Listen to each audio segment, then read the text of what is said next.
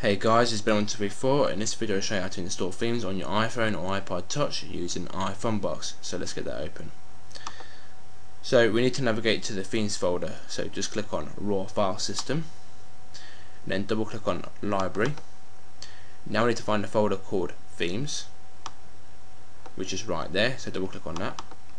Now inside this folder you will see all the themes that you have downloaded using Cydia but for me I've downloaded a theme from the internet so I'm going to extract that to my desktop and then drag it into this folder here.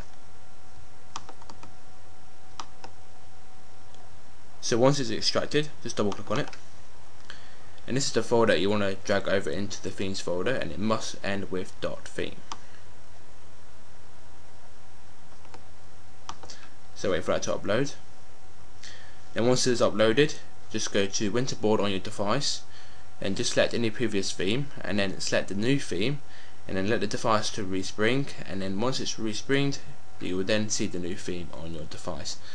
So I hope this video is helpful. Please like comment and subscribe and I'll catch you guys real soon